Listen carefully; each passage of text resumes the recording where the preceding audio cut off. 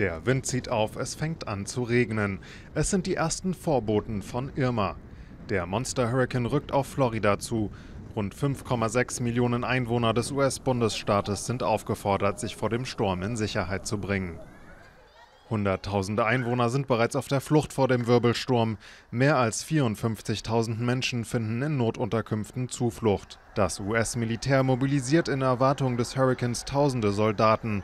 Damit sollen Such- und Rettungsmissionen sowie Evakuierungen unterstützt werden. Unterdessen zieht Irma über den Norden Kubas hinweg. Weite Landstriche werden schwer getroffen.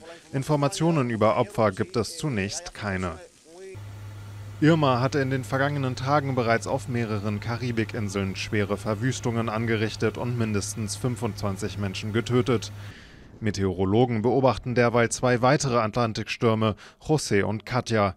Katja traf als Hurrikan der Kategorie 1 auf die Ostküste Mexikos.